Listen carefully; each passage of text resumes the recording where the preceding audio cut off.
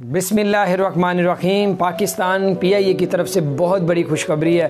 آپ اس خبر کو سنیں گے، آپ کا دل خوش ہو جائے گا۔ جو باہر جانا چاہتا ہے، ان کے لیے خوشخبری ہے۔ سب سے پہلے تو آپ نے ہمارے چینل کو سبسکرائب نہیں کیا تو سبسکرائب کر دیں۔ بیل آئیکن کو بھی پریس کر دیں تاکہ نئی سے نئی اپڈیٹس آپ تک ان شاء اللہ تعالیٰ پہنچتی رہیں گی۔ اور اتنی اچھی خبر ہے آج کہ پی آئی اے کی طرف سے انٹرنیشنل فلائٹس کو اوپن کرنے کا اعلان کر دیا ہے۔ پہلے مرلے میں انہوں نے کہا ہے کہ دو ملکوں میں ہماری پی آئی اے کی فلائٹ جائے گی یو کے اور کینیڈا۔ اور تین اپریل کو ٹورنٹو جائے گی، کینیڈا جائے گی، اور چار اپریل کو یو کے جائے گی۔ جو لوگ یو کے جانا چاہتے ہیں بھائی وہ تیار ہو جائیں۔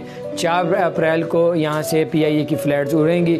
اور تین اپریل کو کینیڈا جو جانا چاہتا ہے، کینیڈا جانے کے لیے تیار ہو جائے اور اپنا خیال رکھیں اور باہر نکلتے ہیں، ماسک پہنیں، گلوز پہنیں اور جو ہے اللہ تعالیٰ آپ سب کی حفاظت فرمائے، ہم سب کی حفاظت فرمائے، پانچ وقت کی نماز پڑھیں اور اللہ تعالیٰ سے دعا ہے، اللہ اپنی رحمت و فضل سے اس وبا کو پوری دنیا سے ختم کر دے۔ اللہ ہم گناہ گار ہیں۔ اللہ کے ذکر سے اپنی زبانوں کو تر رکھیں۔